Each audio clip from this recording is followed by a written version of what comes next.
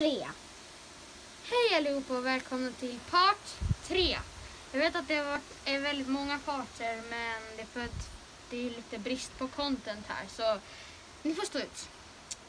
Ja, vi, bör, vi börjar direkt tänker jag med vilken kändis ska jag härma nu? Sebastian Tadros. Ja, det är han den här youtubern som Alltså jag älskar munkar alltså. Herregud alltså. Granne Måns. Jag älskar godis, jag älskar munkar. Ja. Vad är det? Tar vi en ny? Leif och Billy. Ja, ja, ja. Um, Hörru Leif. Alltså a-kassa ringde och de sa att vi inte har som de kommer riva ner vårt hus. Men för fan Billy, vad sa du då då? Ja, jag sa att skit på dig jävla gubbe. Bra Billy, du har lärt dig av mig. Ja, det var lite Billy.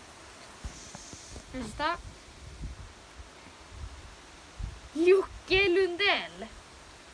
Ja men vad fan fucking jävla shit alltså herregud min jävla Lamborghini står där borta fan också.